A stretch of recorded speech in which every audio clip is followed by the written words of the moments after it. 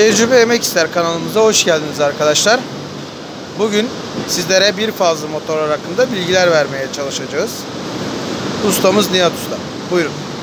Merhaba arkadaşlar. Öncelikle e, bizim bu bir, bir fazla motorumuzdur. Bir fazla motordan 4 tane uç çıkıyor. Şimdi buna e, ana sargı, tetikleme sargısı hangisidir? E, onları size nasıl bulursunuz onları anlatacağız. Öncelikle e, burada iki renkli kablolar var. Önce siyah kabloları ölçüyoruz. 14.8 Mavi kabloları ölçüyoruz. 31.1 33.1 Şimdi burada e, düşük sar voltajlı olan, şey omajlı olan 14.8 olan bizim ana sargımızdır. Ana sargımız e, kalın olduğu için ve yüke bindiği için e, kalın sipirli sarılmıştır. E, tetikleme kablo sargımız da ince kabloyla sarılmıştır. O yüzden omajı ve sık sarıldığı için biraz daha yüksek gösterir. Şimdi burada e, yapmamız gereken önce yardımcı sargıyla ana sargının bir ucunu birleştirmek.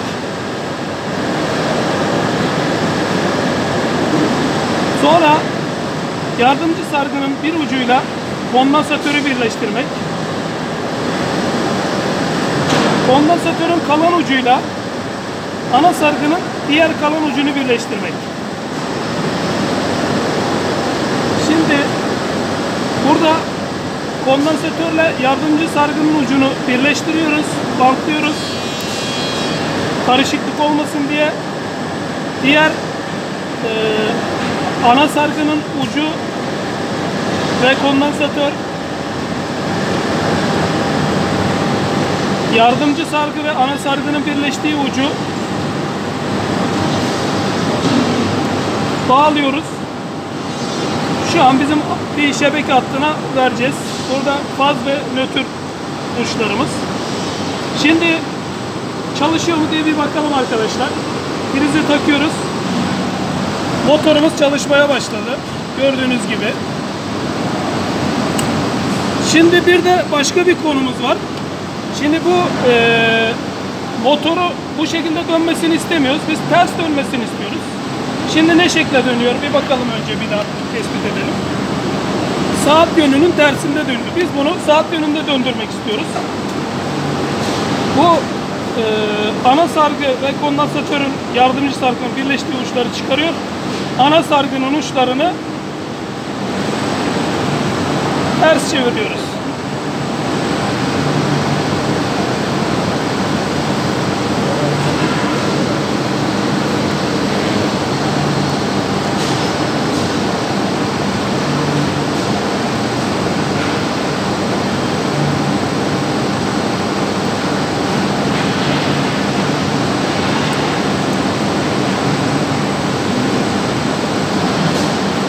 Nihat Bey takipçiniz.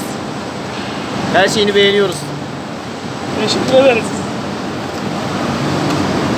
Şimdi gördüğünüz gibi saat yönünde dönmeye başladı.